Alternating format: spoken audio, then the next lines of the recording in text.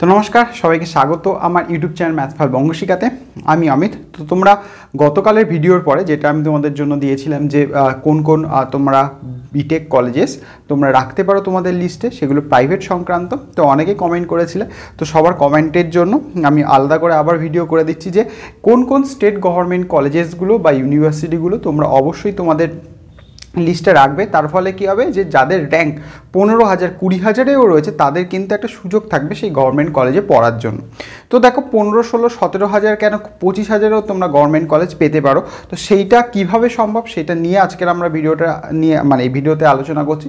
তো যদি ভালো লাগে অবশ্যই লাইক সাবস্ক্রাইব এবং শেয়ার করতে ভুলবেন না। তো তোমাদের আগামীকাল তোমাদের রেজাল্ট বেরোচ্ছে তোমাদের যে অ্যালোকেশন তার পার্সেন্টেজ ওয়াইজ তার পরের দিন তোমাদের ফাইনালি চয়েস লকিং মানে অপশান স্টার্ট হয়ে যাবে। তো এই যে তোমাদের অ্যালোকেশান সেইটার যে পার্সেন্টেজ সেটাকে কীভাবে কাজে লাগাবে? ঠিক আছে?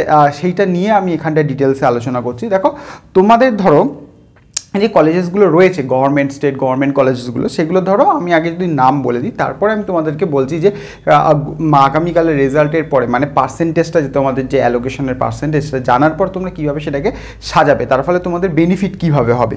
তো দেখো নর্মালি যে সমস্ত কলেজেসগুলো রয়েছে, Alipurduar government college Cooch Behar government college Ghani Khan হ্যাঁ তোমার college of government college of engineering and leather technology government college of engineering textile government college of engineering ceramic Jalpaiguri government Kalyani government Ramkrishna Mahato এই সমস্ত যে government কলেজেসগুলো রয়েছে, যারা যারা এই সমস্ত কলেজে অ্যাপ্লাই করেছে, দেখো সিভিলে বলো মেকানিক্যালে বলো এই সমস্ত যে, আমাদের স্ট্রিমগুলো রয়েছে, এই সমস্ত স্ট্রিমে এই সমস্ত কলেজে পনেরো কুড়ি হাজারেও পেয়ে যেতে পারো। আর যে কেউ যদি ক্যাটাগরি থেকে বিলং করে, তাহলে সে তিরিশ হাজার, বত্রিশ হাজার র্যাঙ্ক থাকলেও সে কিন্তু সে ক্যাটাগরি থেকে থাকলে সে সেখানটায় ইজিলি চান্স পেয়ে যাবে, সেটা নিয়ে কোনো সমস্যা নেই। সেটা প্রথমবারে না হলেও দ্বিতীয়বার, তৃতীয়বারে। কারণ প্রত্যন্ত যে সমস্ত জায়গাগুলো আলিপুরদুয়ারে বলো, রামকৃষ্ণ মাহাতোতে বলো, এই যে প্রত্যন্ত গ্রামে, আর নর্মালি কলকাতার দিকে ছেলেপুলেরা যারা বিশেষ করে তারা কলকাতা ওরিয়েন্টেড যে কলেজেসগুলো যদি পায় গভর্নমেন্ট তাহলে পড়ল, যেরকম সিরামিক টেক্সটাইল রয়েছে লেথার রয়েছে এছাড়াও তো ক্যালকাটা, কল্যাণী এবং তোমার হলো যাদবপুর রয়েছে, এগুলো ছাড়া কিন্তু তারা চেষ্টা করে যে জলপাইগুড়ি খুব কমজন আসে, বরঞ্চ জলপাইগুড়ি থেকে অনেকে আছে আমাদের সাউথে সাউথ চব্বিশ পরগনা বা কলকাতায় গিয়ে অনেকে মানে কোর্স করে। তারা কি করে না, ধরো আমাদের টেকনোতে বা মেঘনাসাতে বা তোমার হেরিটেজে এই সমস্ত জায়গায় গিয়ে করে। সে হয়তো ভালো র্যাঙ্ক ছিল, সেক্ষেত্রে সে হয়তো জলপাইগুড়িতে পেতো সে তাও যেতে পারতো। এটা মানুষের একটা কনসেপশন সেটা নিয়ে আমার কিছু বলা নেই। তো এক্ষেত্রে অনেকে আবার চায় যে, আমি শুধু গভর্নমেন্ট কলেজে পড়ব, যে কোনো স্ট্রিম হওয়া নিয়ে, সেই দরকার। সে, সেই জন্য বলছি, যে কোনো একটা র্যাঙ্কে যদি এবার তুমি এগুলোকে সাজাও। যদি আমি প্রথমের দিকে কলেজেসগুলো রাখতে চাই, অবশ্যই তাহলে আমি government college of leather technology engineering textile এদেরও আবার এক একটা করে ব্রাঞ্চ আছে।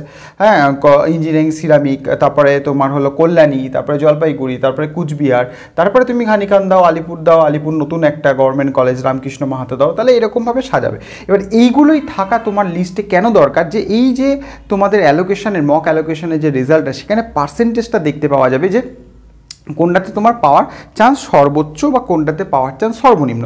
তাহলে ধরো আমি স্বাভাবিকভাবে বলছি যে এটাতে হয়তো তোমার চল্লিশ পার্সেন্ট দিয়েছে, হতে পারে। এখানে দিয়েছে ধরো পঞ্চাশ পার্সেন্ট এটা দিয়েছে ধরো ষাট পার্সেন্ট এটা দিয়েছে ধরো সত্তর পার্সেন্ট এটা দিয়েছে ধরো আশি পার্সেন্ট এটা দিয়েছে ধরো নব্বই পার্সেন্ট এইটা তো বলে দিল তোমার হান্ড্রেড পার্সেন্ট তাহলে এটা বলে দিল ধরো তোমার হান্ড্রেড পার্সেন্ট এগুলোর মধ্যে যে কোনো একটা হতে পারে, বা এটা নাইনটি এইট এরকমভাবে সাজানো আছে। আমি জাস্ট একটা কথা বলছি। তো এখানে তো তারপরে তুমি যখন চয়েস লকিং করবে, তখন কি করবে? যে যেইটার চান্স সব থেকে কম, সেইটা প্রেফারেন্সে সব থেকে আগে দেবে। ঠিক আছে? তারপরে এইটা, তাহলে ফার্স্ট প্রেফারেন্স তোমার এটা হবে সেকেন্ড এটা। থার্ড এটা যেটার চান্স সব থেকে কম ফার্স্ট রাউন্ডে পাওয়ার, সেটার প্রেফারেন্সটা তুমি আগে দিয়ে রাখবে।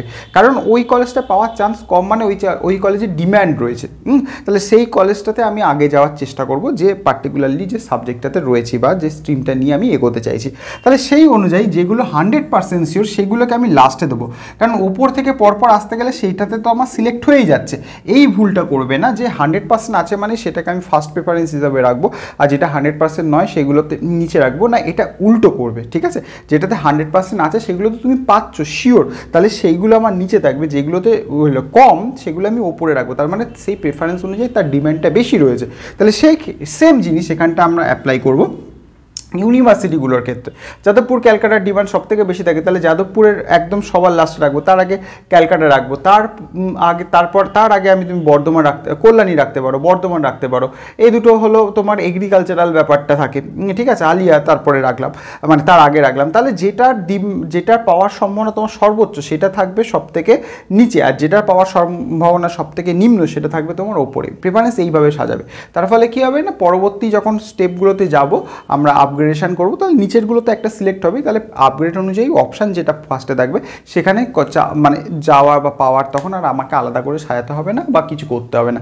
এইভাবেই আমরা প্রেফারেন্স দিই, এইভাবে প্রেফারেন্স দেওয়াটা উচিত যে যেটা